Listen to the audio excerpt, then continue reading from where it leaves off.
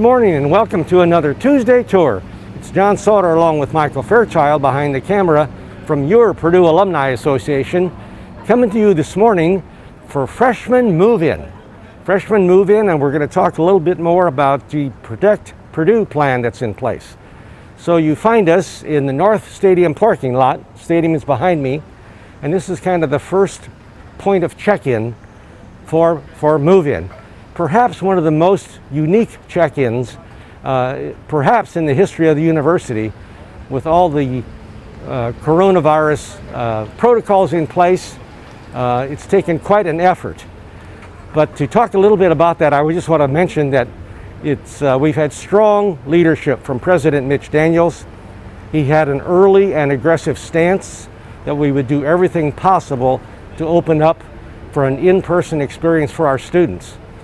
And in fact, that early approach gathered a lot of attention in higher education. He was featured on several TV news stations and interviews. He actually did a, a, guest column for the Washington Post where he talked about its higher education's duty to do what they can to try to make this happen.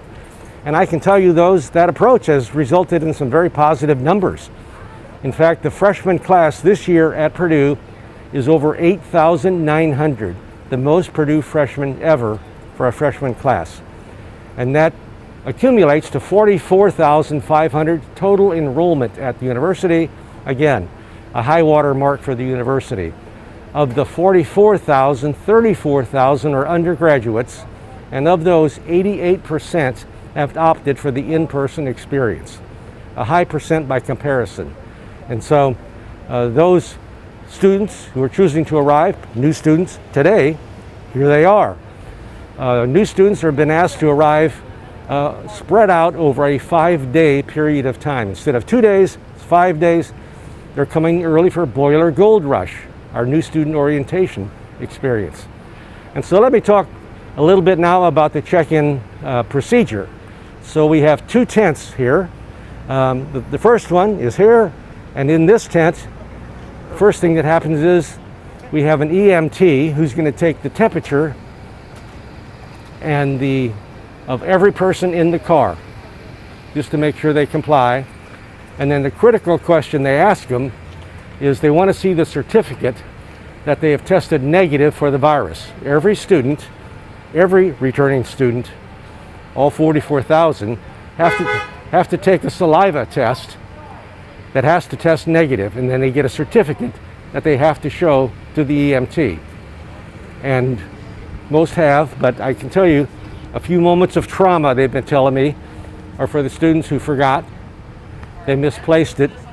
They told me of one case yesterday morning of a family from California who just could not find their certificate.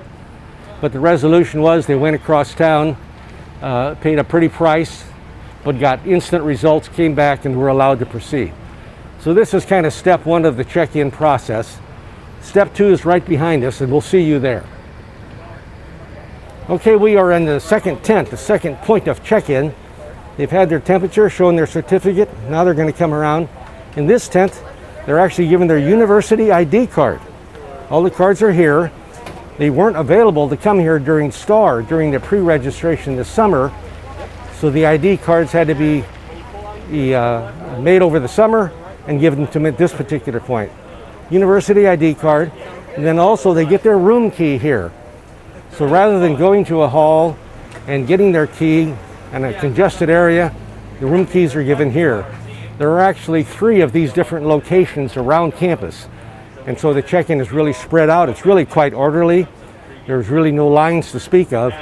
So it's really going quite well as they now equip them with the ID card. And the room key, the next step then would be for them to proceed to their residence hall and actually start to move in. And so that's the next step, and that's where we're going to see you over on campus.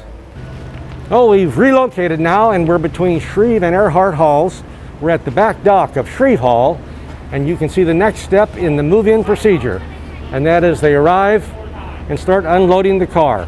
And so the Boiler Gold Rush folks are the folks in the gold shirts who are helping out. Um, they actually uh, assist in disinfecting the carts, making the carts available, and then the family members actually uh, unload the car, put it on the, on the cart, and then the uh, student and only two family members are allowed to take things up to the room. And so none of the other family members, unfortunately, can be here, and the things that students are bringing is a little less maybe than usual as they uh, arrive and go through the whole move-in procedure. Um, they're arriving to be here a part of Boiler Gold Rush. Boiler Gold Rush, again, is a new student orientation program. Actually started in 1993 to get all students oriented. They come back days early. And so uh, over this five-day period, new students are moving in. They have four or five days then of activity. They all learn the words to Hail Purdue and a variety of things. All sessions this year are virtual. Um, but the good news is that the students are in touch with a team leader. This is like an upper class student who's in touch with his 10 or 15 students on a regular basis, as well as the students get to meet 10 or 15 other students. And so there's a connection made with Purdue from the get-go. And uh, during this time, that's very, very helpful. In fact, it reminds me of move-in. You may recall your move-in. And it used to be you came with a trunk or a suitcase. These days they come with trailers, vans, horse trailers, U-Hauls, all those sorts of things, trying to make it as comfortable as possible. But it helps to be able to drive your belongings right up, right up to the residence hall itself. Um, and in terms of the move-in experience and dropping the students off, I can tell you that part hasn't changed. I have been through many, many of these check-ins, and I can tell you that dropping the students off and leaving to go home and the anxiety felt by the parents and the students, uh, that is real. And uh, if I could put a plug in, it would be that uh, during this COVID experience, that only adds to that, uh, that leaving behavior that, that anxiety caused. And so if you are in a position to maybe provide a word of kindness to parents or students, or maybe that student that worked for you this summer or played on your ball, ball team, um, or that you've seen grow up in high school, or the parents or the next door neighbor, somebody who won a scholarship in your club, if you could provide a, provide a word of kindness and comfort to those folks saying it'll all be okay, and it will, uh, probably now is the time to do that.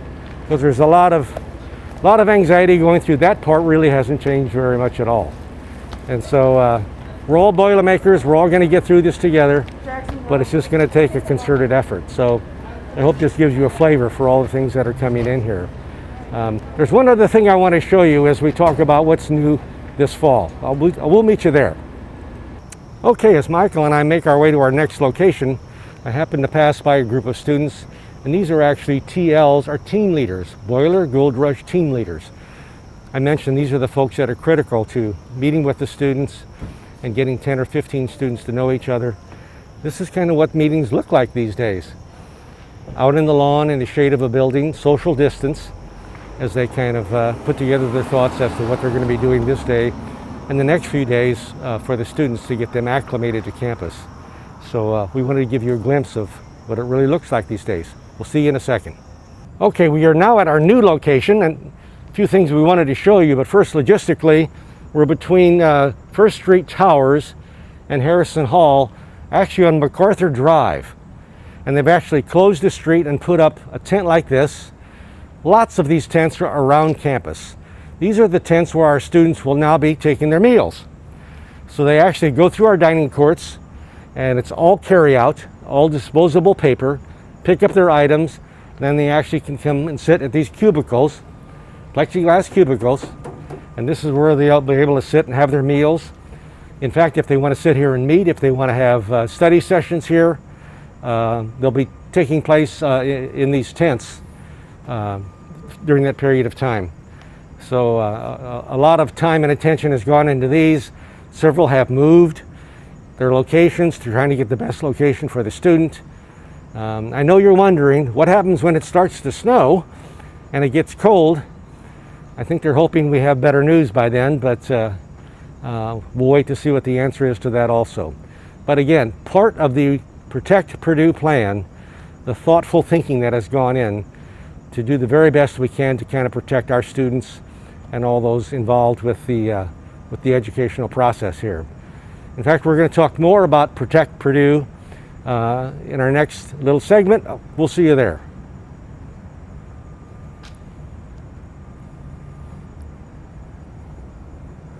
Okay, we're on our final expert of today's show, and for this uh, segment, I want to highlight the Protect Purdue plan.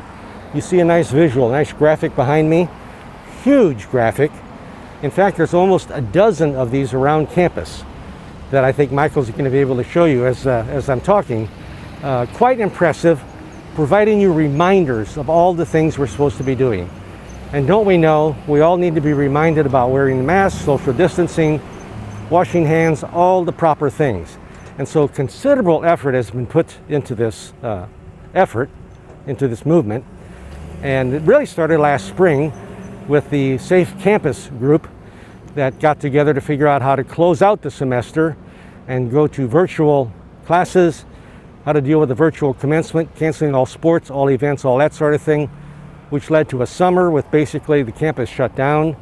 Um, and the group continued to meet on a regular basis and in housing, going through all sorts of things of de-densifying housing and the tents that we just came from, de-densifying a lot of the classrooms. How are they going to do all this to assure our students, as I mentioned, 88% of the undergrads, they feel comfortable, as they should be, because of the amount of plan planning effort that has gone in to all the aspects of getting the campus uh, up and running, to include this, which is a kit. This is a kit that all students will be receiving. In fact, it's on their desk in their residence hall room right now. In fact, all faculty and staff and students, researchers, graduate students, wherever they might, are going to be receiving one of these kits also. And so again, part of the comprehensive effort being made. So let me just show you a little bit about what's in it. First of all, there, uh, there's a safe shield, face shield, that's going to be available. I'll just put it down here. But then within the kit itself, again, are reminders about get your game face on, a Purdue Protect Purdue pledge, where it reminds the students what to do uh, on a continual basis, as we have been all summer. I can tell you there's videos about every week. There are conversations with the provost about every other week, and uh, all sorts of pep talks from the president there have been sur surveys of faculty and staff as to what we could be doing better, extensive efforts. Also in the kit are masks. Each student, each person is going to be receiving two Purdue University face masks for them to wear. There's going to be uh, hand wipes, safety hand wipes for, for all the students. There's going to be a kind of a product related to Tylenol, kind of in case you feel a fever coming on something you can take for it. Um, there's actually a thermometer, a thermometer that you can take your temperature on a regular basis, just to double check. You know, and even a small bottle of Purdue Pete Repeat hand sanitizer. I mean, the extensive efforts being taken for all of us is just, I just think, continues to be, you know, quite impressive. Let me put this down because I want to close out by reading some quotes from uh, our president, Mitch Daniels. And he said, No one can say with confidence that we can make it to Thanksgiving. If we don't try, the damage is certain, including the damage to the community. Is it the right decision? Yes. Can we do it? We don't know. This is an issue everywhere for every school trying to do the same very thing. There might be a place that's done more than we have, we just don't know who it is. So it gives in all of us all the confidence that I think we need at this particular time to make this thing work, get us through to Thanksgiving, but it's going to take us all working together. So if you can help out in your small way, we'd really appreciate it. And so be careful out there. Hail Purdue.